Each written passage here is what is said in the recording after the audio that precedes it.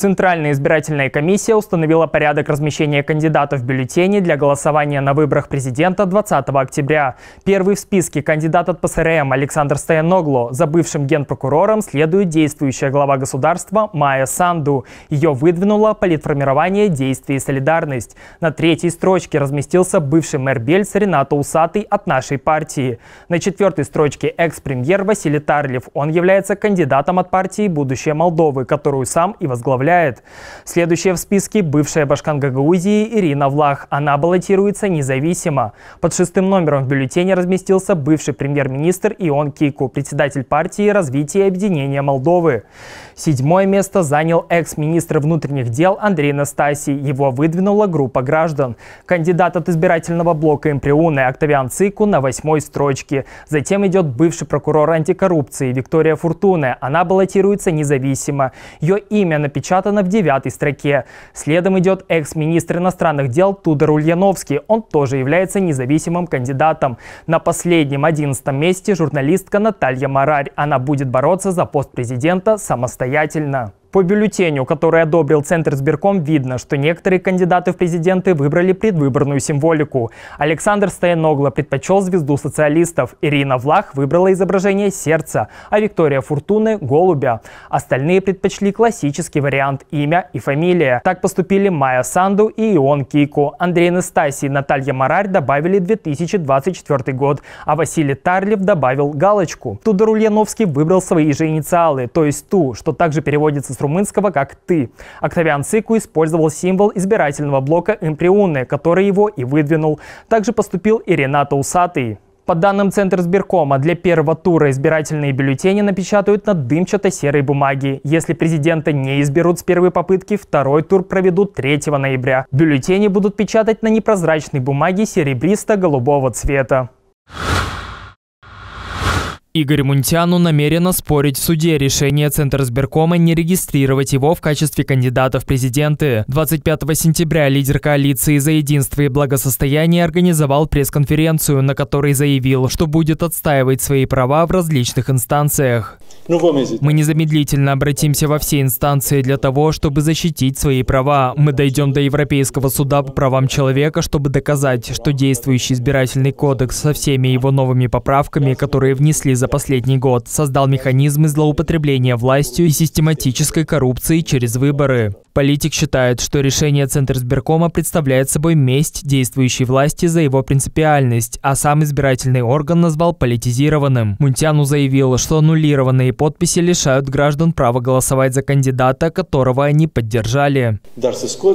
Убрать из предвыборной гонки проевропейского демократического кандидата, у которого все документы в порядке, означает вопиющее нарушение Конституции. Конституция Республики Молдова гарантирует каждому гражданину право на выбор и быть избранным, но решение ЦИК лишило меня этого права.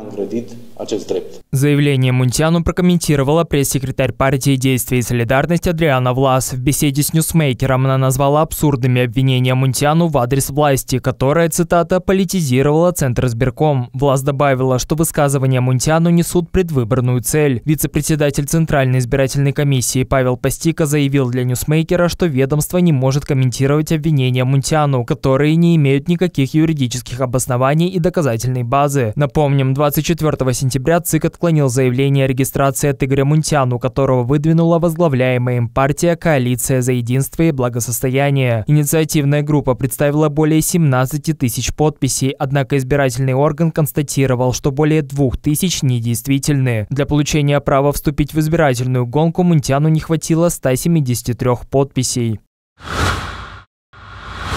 встретились с президентом и остались недовольны. 25 сентября фермеры пообщались с Майей Санду за закрытыми дверями в здании администрации главы государства. После переговоров аграрии заявили, что приостанавливают протесты до 10 октября. Предполагается, что за этот срок власти найдут решение и определят меры помощи, которые устроят сельхозпроизводителей. Глава ассоциации «Сила фермеров» Александру Бедереу отметил, что на большинство предложений президент ответил отказом. Главным требованием было вернуть в парламент закон о поддержке поддержки фермеров и обсуждения его со всеми вовлеченными сторонами. Nu cunoaștem care vor fi acțiunile de mai departe, dar doamna președinte cu siguranță o să le anunțe.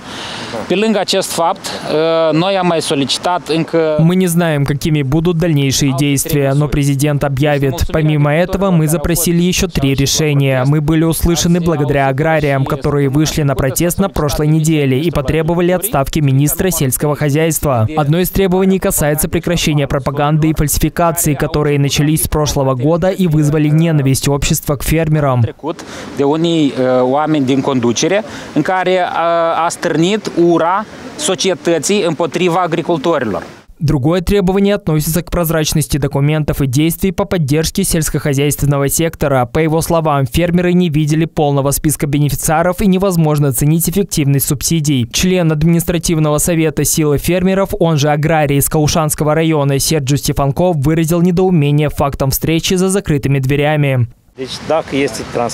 Если это будет в прямом эфире, я готов обсуждать проблемы сельского хозяйства с любым депутатом, министром, даже с президентом и премьером. Общество должно знать правду, но ее можно знать только если встреча будет публичной, чтобы люди видели, что нас не подкупают, мы не пьем кофе и обсуждаем экономические, а не политические проблемы. Проблемы экономические, но политические. Президент подвела итоги встречи в публикации в соцсетях. Санду отметила, что в долгосрочной перспективе необходимы существенные преобразования в сельскохозяйственном секторе. Она перечислила достигнутые с фермерами договоренности. Власти должны разработать четкий механизм для защиты фермеров от завышенных и принудительных штрафов. Кроме того, правительство и парламент должны наладить диалог с фермерами, чтобы согласовывать решения. Также глава государства обещала призвать Министерство сельского хозяйства сделать выдаваемые субсидии прозрачными и опубликовать полный список всех, кто получил эту финансовую поддержку. Отметим, что на встречу Санду пришел и бывший глава ассоциации «Сила фермеров» Александр Слусарь, который уволился по состоянию здоровья. Он рассказал, что полностью доверяет своему преемнику и его присутствие не означает возвращение к работе в ассоциации. Нет, я не хотел бы вернуться в должность. Я два года был на этой функции.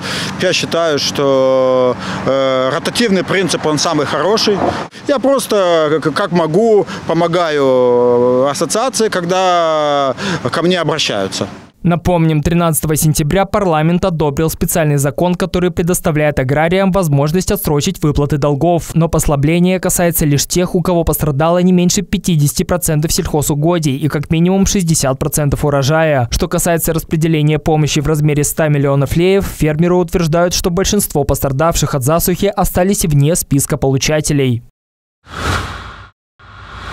Партия коммунистов намерена обратиться в Генеральную прокуратуру по поводу действий общественной компании «Телерадио Молдова». Причиной послужил отказ транслировать на общественном телеканале предвыборный ролик политформирования относительно конституционного референдума. Днем 25 сентября ПКРМ вместе со своими сторонниками устроили протест перед зданием ТРМ. Депутат ПКРМ Диана Караман утверждает, что компания не объяснила, какие именно права и этические нормы нарушает видеоролик. Этот ролик должен был быть опубликован сегодня в 13.45. Но, а, опять же, из информации социальных сетей директора Молдова УНО мы узнали, что он опубликован не будет. На каких основаниях, а, по каким причинам, нам непонятно. До сих пор партия коммунистов не получила ни одного письма или решения руководства Молдова УНУ, почему наш ролик а, не будет опубликован. Также Караман сообщила о намерении направить письмо в Центре избирком. Участники протеста заявили, что пришли поддержать свободу слова. Телевидение спонсируется. Мы спонсируем, мы спонсоры этого телевидения. Получается, что это телевидение только делает заказы. Am venit astăzi să susțin libertatea cuvântului. Oamenii au dreptul să cunoască ambele пэрц о медалии. После протеста телерадио Молдова опубликовала пресс-релиз, в котором объяснила позицию администрации телевидения насчет решения не транслировать ролик от ПКРМ. Общественная компания «Телерадио Молдова» уточняет, что как в отношении соответствующего политического формирования, так и в отношении других конкурентов на выборах и участников референдума она строго руководствуется положениями избирательного кодекса, регламентом об освещении выборов институтами СМИ и другими нормативными актами и внутренними регламентами учреждения, принятыми прозрачно и опубликованными на официальной веб-странице. Несколько дней назад телерадио Молдова отклонила предвыборный ролик ПКРМ. Партия выступает против Европейского европейского курса страны собирается продвигать вариант голосования на конституционном референдуме с позиции «нет». На общественном телевидении обосновали свое решение тем, что лидер партии коммунистов Владимир Воронин выступает заявлениями, не попадающими под юридическое понятие представления предвыборных программ. На устранение несостыковок видео коммунистам дали срок в 12 часов, однако они предпочли протестовать перед зданием общественного телевидения.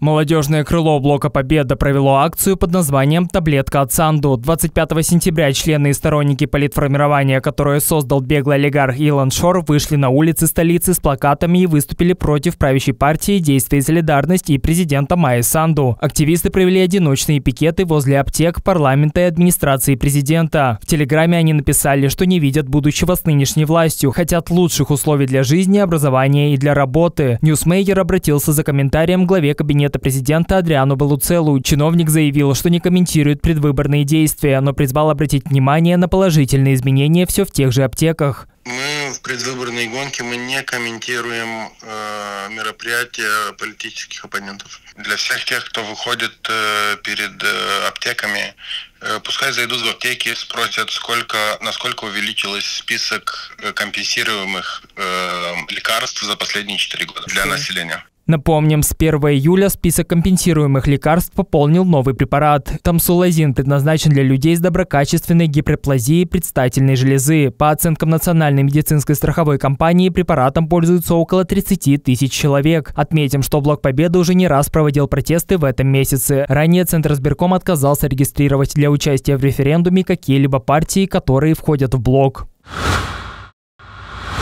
Епископ Бельский и Фалежский Маркел поддерживают на выборах кандидатов в президенты Викторию Фуртуне. Недавно во время встречи священников в кафедральном соборе в Бельцах священнослужитель похвалил Фуртуны и призвал верующих ее поддержать. Епископ отметил, что она хрупкая женщина, христианка, нежная мать и честная жена, и что бывшая прокурор могла бы продвигать христианские законы, если бы стала президентом.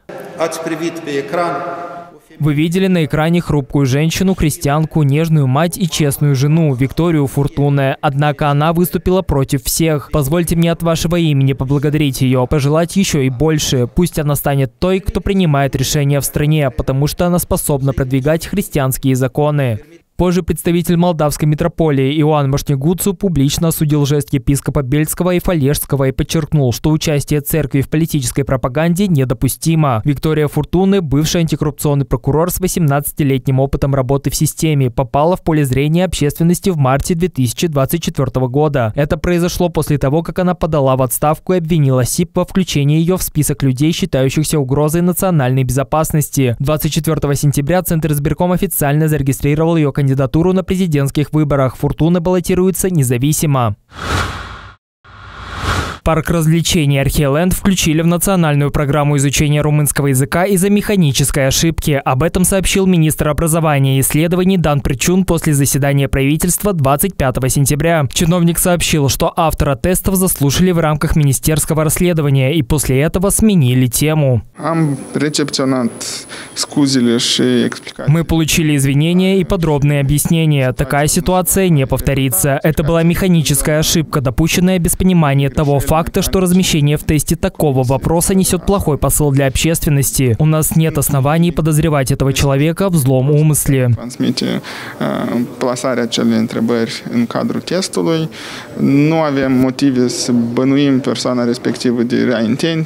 Ранее представители Минобразования упоминали, что дидактические материалы разработал консорциум университетов и организаций гражданского общества. Ведомство должно было установить, совершена ошибка по неосторожности или злому умыслу и определить санкции. В министерстве подчеркивают, что недопустимо продвигать объекты, которые построили на деньги, полученные в результате кражи из банковской системы Молдовы. Напомним, что Археоленд возвели по инициативе беглого олигарха Илона Шора, который приговорен к 15 годам тюрьмы и находится в черном списке правительств США и Великобритании. Национальная программа изучения румынского языка предназначена для взрослых, желающих улучшить свои знания или изучить румынский с нуля. Курсы финансирует государство. В 2023 году обучение прошли 6550 человек.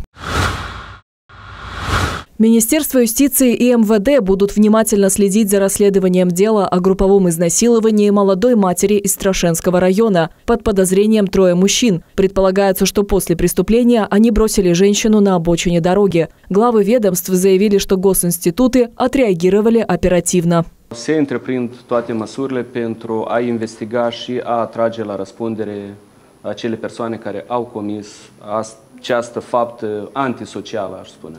Este un caz care trebuie analizat foarte atent și toate instituțiile responsabile să se implice maximal în vederea prevenirii pe viitor, dar mai ales a ajutorului față de această femeie, această familie și copii. Министр юстиции уточнила, что любая жертва, которая подверглась насилию или жестокому обращению, имеет право на гарантированную государством юридическую помощь, специализированную помощь и на доступ в специализированные центры. Прокуратура открыла уголовное дело по факту изнасилования. При этом один подозреваемый находится под арестом в СИЗО, другой под домашним арестом, третьего поместили под судебный контроль. Хотя прокурор по делу оспорил это решение и потребовал отправить всех под стражу на 30 суток, апелляционная палата Кишинева отклонила ходатайство и оставила в силе решение первой инстанции. Расследование продолжается. Напомним, что по данным СМИ, молодая мать, которая одна воспитывает двоих детей, в начале сентября якобы подверглась групповому изнасилованию, а затем ее бросили на улице. Родственник пострадавшей рассказал, что Женщину насильно забрали из дома, после чего ее нашел на обочине дороги восьмилетний сын.